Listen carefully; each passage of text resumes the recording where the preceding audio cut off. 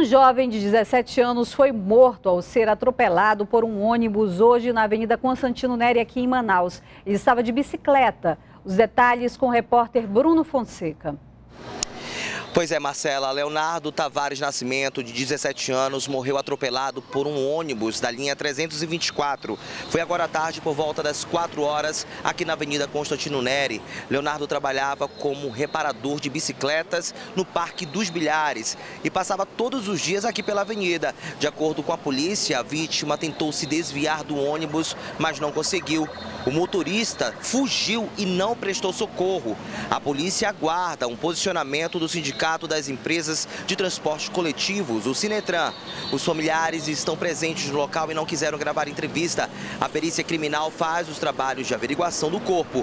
O trânsito ficou complicado aqui na Constantino Neri. Eu volto com você no estúdio, Marcela. Obrigada, Bruno. E o Sinetran informou que o motorista aí do ônibus que atropelou o rapaz vai ser apresentado à polícia e que a empresa vai prestar toda a assistência à família do jovem. O valor do transporte escolar não deve sofrer reajuste este ano, mas além do preço, os pais devem estar atentos à documentação do motorista. Levar o filho à escola com um desconhecido exige precaução. Entre os cuidados que os responsáveis pelos estudantes devem ter estão a regularização do serviço e as condições do veículo. A condução legalizada, ela possui algumas características específicas para o transporte escolar, tá? E esse condutor, ele deverá atender aos quesitos do SMTU, para fazer a condução escolar. Há dois anos, essa funcionária pública optou pelo transporte escolar. Todo mês, ela paga 200 reais e confia no motorista que conduz o neto dela até a escola. Segurança, primeiro lugar, acima de tudo, porque é legalizado, não vou ter problema com o horário de chegar ou sair. Cerca de 400 empresas estão legalizadas para operar com transporte escolar aqui na cidade de Manaus. Mas você deve ficar atento, pois elas devem estar registradas no SMTU pegar um, um, transporte seguro, verificar qual transporte, qual, no caso, qual condução escolar esteja habilitada para isso. Os veículos têm que ser identificados com uma faixa horizontal na cor amarela, com a legenda escolar na cor preta. No caso de veículo pintado de amarelo, essas cores são invertidas e você ainda tem que verificar a numeração de registro. Para ser um condutor autorizado, é necessário ter idade superior a 21 anos, ter habilitação na categoria D, não ter cometido nenhuma infração. Os condutores devem possuir o certificado de conclusão do curso especializado, conforme regulamentação do Conselho Nacional de Trânsito. As fiscalizações cobram ainda o tacógrafo, que mede a velocidade. Quem for pego irregularizado paga multa. Para denúncias e outras informações, você pode ligar para o SMTU e acessar o site que aparece na sua tela. Nós estamos aqui com esse sentimento também de ajudar todos esses pais que precisam de condução legalizada e atender da melhor forma possível. E olha, tem gente que conseguiu economizar com a compra do material escolar este ano. Livros e materiais usados podem ajudar e muito a diminuir os gastos.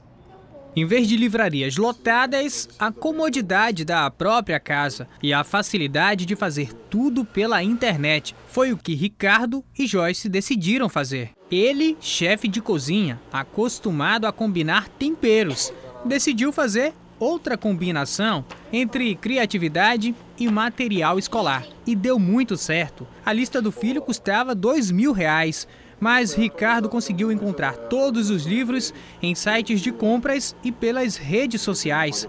O valor caiu para 410 reais. Isso mesmo. Ah, esse dinheiro que sobrou a gente pode investir em outras coisas, né? Transporte ou é, um dinheiro para merenda, né? alguma coisa assim possa beneficiar ele, né, que possa beneficiar a mim também. Mas o filho, Samuel, que não se importa nem um pouco com os livros usados, está de olho nesse dinheiro que sobrou. Ah, ele comprou um computador que ele prometeu para mim. Início de ano é sempre igual. Você trabalha janeiro para pagar as contas de dezembro, além de quitar outras que vão vencer em fevereiro, o mês complicado. Tem os cartões de crédito, que tem que fazer a matrícula, comprar o material escolar, porque esse material estava lá, alguém usou, está disponível, está atualizado e você realmente consegue comprar com um preço muito mais em conta. Quem está tendo criatividade também é a Joyce. A vendedora está colocando os livros que eram da filha dela à venda também pela internet. É que a Stephanie, de 13 anos, está saindo da escola particular para o ensino público. Com o dinheiro, Joyce, que é vendedora de TV a cabo, pretende comprar o material escolar da filha. Vai dar para ajudar agora no material que ela vai comprar, um caderno, uma caneta, né? Os livros custam entre 10 e 70 reais. São mais de 20. Alguns foram comprados na época por mais de 150 reais e eles já ajudaram bastante na educação de Stephanie. De história que eu li mais foi de história nas férias, eu também peguei para ler eles. É, eu gosto de história. Pois é, agora é hora de passar adiante para quem precisa. Já que ela não vai utilizar esses livros, colocar na internet para ajudar outros pais a comprar mais barato. Os livros já não têm o cheirinho de novo, mas o conteúdo ainda é o mesmo. E diante da crise, são muito bem-vindos.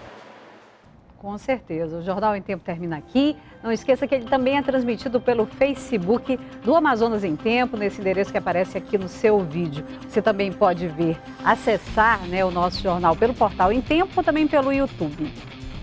Uma ótima noite para você e a gente se encontra amanhã, 18h15. Até lá!